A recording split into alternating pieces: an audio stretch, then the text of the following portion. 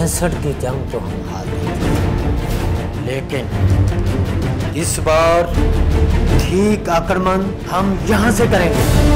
वो क्या कहता है हमारा सैफ अली खान? के दुश्मन को हम उसके घर घुस के मारेंगे। तो जवानों, प्लान ये है।